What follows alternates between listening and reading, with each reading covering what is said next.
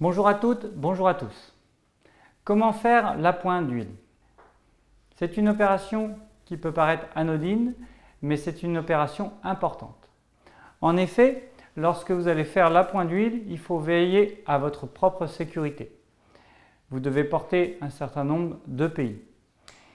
Lorsque vous allez intervenir pour faire un appoint d'huile, il faudra dans un premier temps prendre en compte la position différents éléments de la machine.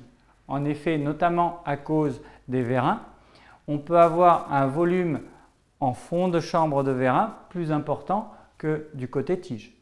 Donc l'idéal est d'avoir les vérins qui soient totalement rentrés, à moins que ce soit spécifié autrement sur la notice du constructeur. Il faudra veiller également à la dilatation du volume d'huile. En effet, si vous remplissez totalement l'installation avec une huile froide et que celle-ci va ensuite travailler dans un environnement plus chaud, il y aura forcément dilatation du volume et donc des débordements. Lorsque vous ferez la pointe d'huile, il est aussi important de vérifier la qualité de l'huile, quel type d'huile vous utilisez pour une machine. Certaines huiles ne se mélangent pas. La propreté de cette huile est importante.